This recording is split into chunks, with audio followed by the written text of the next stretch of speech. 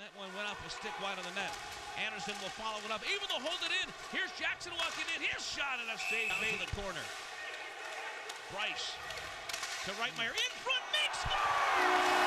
Mitch Meek with the second goal of the To Penalty is save. over, controlled by Fry up top, tipped in front. Save made, loose puck in front of Devin Carroll.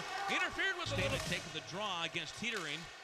And the Huskies will hold it in. Shot towards the goal. Loose puck is there. Here's a chance now. A shot taken there by Brice. Another shot. Scores! Ray Brice with the goal.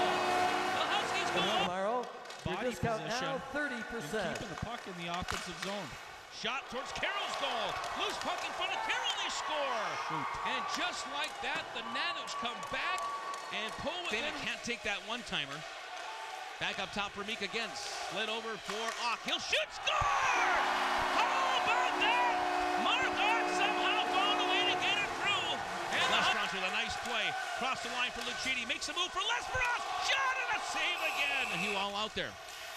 Martinson going to the bench, had to go peel back. Here's a shot for the Huskies. Scores! Beretta from center ice. And our third period was brought to you by the Turbo Agency. Post game brought to you by Moyle Concrete and Building Supply. We'll be back after this on Mix 93.